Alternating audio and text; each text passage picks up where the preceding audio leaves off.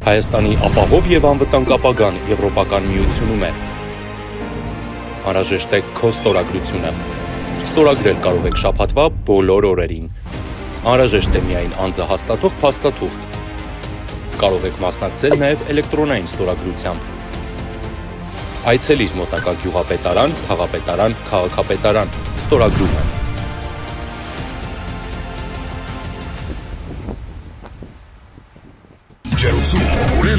իդեալ։ Ձեր բերեք ձեր բնակարանի ջերուցման համակարգը իդեալ համակարգի խանութ սրահներից սկսած 259900 դրամից։ Уважаемые коллеги, рад всех вас приветствовать в Москве на очередном заседании Совета глав государств СНГ, которое российская страна принимает в качестве председателя в Содружестве.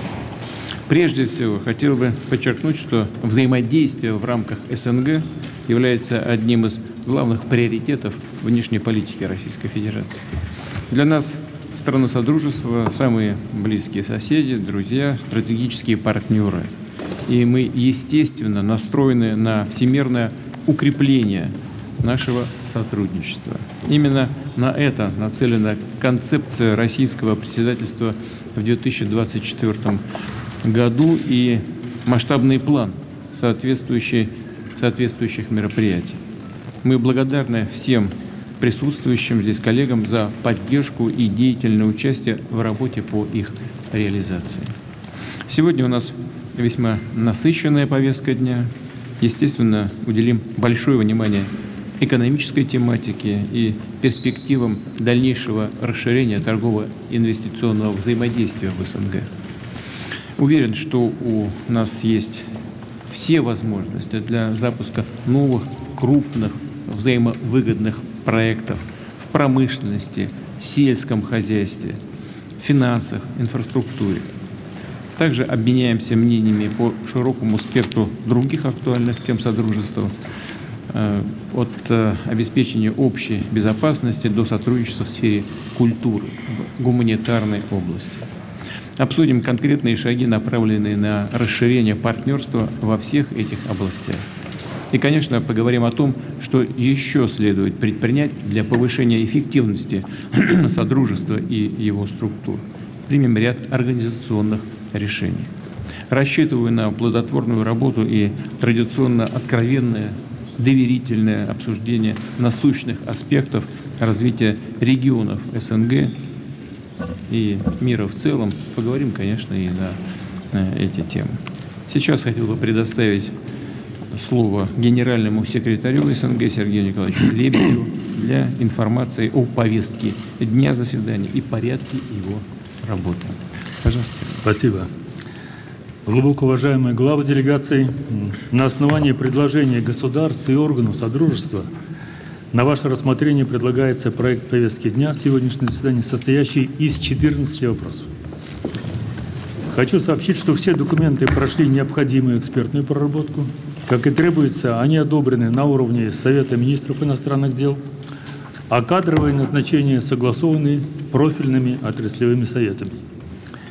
Уважаемые главы государств, в соответствии с действующим положением о Комиссии по правам человека СНГ, вам в качестве информационного материала представлен ежегодный доклад этой комиссии. Она у вас на столах в папке с документами. Теперь о порядке нашей дальнейшей работы. Сейчас вносится предложение в узком формате после обмена мнениями глав делегаций о взаимодействии в рамках нашего Содружества рассмотреть второй и третий вопросы. Это о председательстве в Содружестве независимых государств в 2025 году и о проведении очередного заседания Совета глав государств СНГ.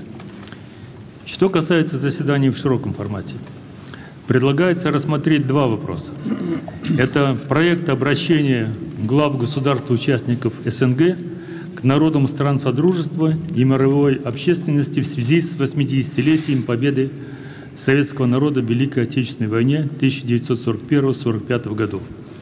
Это четвертый вопрос повестки дня. Сообщением по данному вопросу выступит президент Республики Беларусь Александр Григорьевич Лукашенко.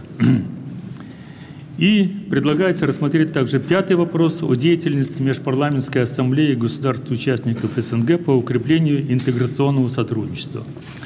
Краткий доклад по этому вопросу нам доложит председатель Межпарламентской ассамблеи государств-участников СНГ Валентина Ивановна Матвиенко. После этого, с учетом полной согласованности рассматриваемых документов, можно будет приступить к процедуре их подписания без обсуждения. Таковы предложения исполкома СНГ по повестке дня и регламенту настоящего заседания Совета глав государств. Просил бы рассмотреть. Спасибо за внимание. Уважаемые коллеги, есть ли какие-то замечания тому, что было сказано э, Лебедем Николаевичем? Есть ли какие-то предложения или дополнения к предложенной повестке дня? Принимается. Спасибо. Э, поступило предложение принять повестку дня. Нет других замечаний? Нет. Спасибо. По этой повестке будем сегодня работать. Хочу поблагодарить представителей прессы. Большое спасибо за ваше внимание к нашей совместной работе.